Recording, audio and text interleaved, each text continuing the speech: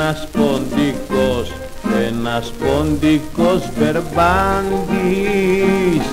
που ξεφύτρωσε, ξεφύτρωσε σαν φάντης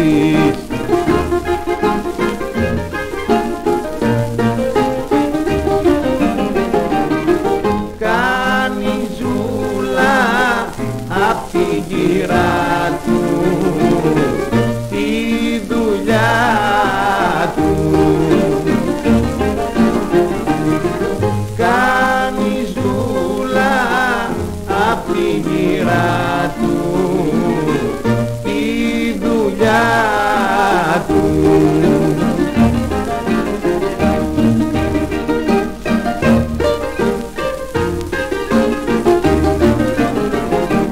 Μέσα στην αυλή τα βράδια ξεφαντώνει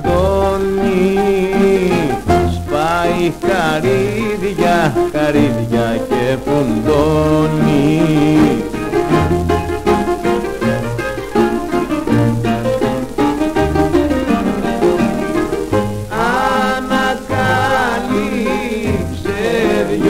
δυο φήμες ποντικίνες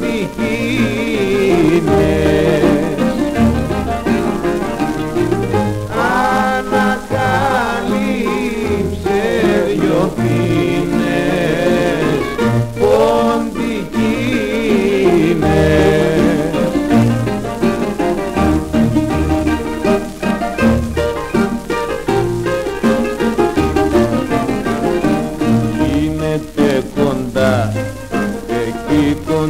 τυφλήσει ποντική σιω μεγάλο ραβαΐσι.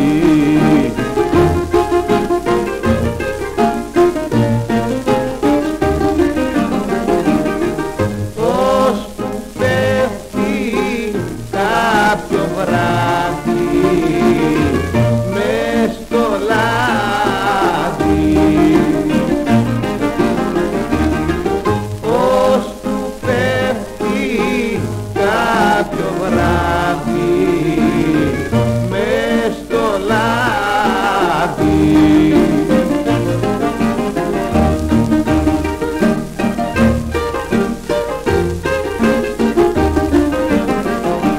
Να την χέρχεται την ώρα η κυρά του και τους πάει